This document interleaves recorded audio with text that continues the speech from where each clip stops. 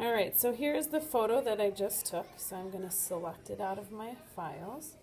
You're going to select your photo. And we are going to grayscale this. Right now it's all different colors, but we want to grayscale in order to have monochromatic. So you're going to click Edit.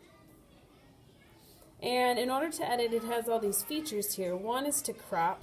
We're not going to crop today, but you can crop this and you can make the section smaller. I guess you could use that if you felt like you needed to. Um, click done. And then we're gonna we're gonna click this um, these three circles here that are white, medium gray, and dark gray. When you click on those circles, you can see there are all different options of how to change your picture. Now we are going to be doing monochromatic color scheme, so you're going to choose the one that says mono, M-O-N-O, and that will give you a grayscale picture of whatever it is that you took.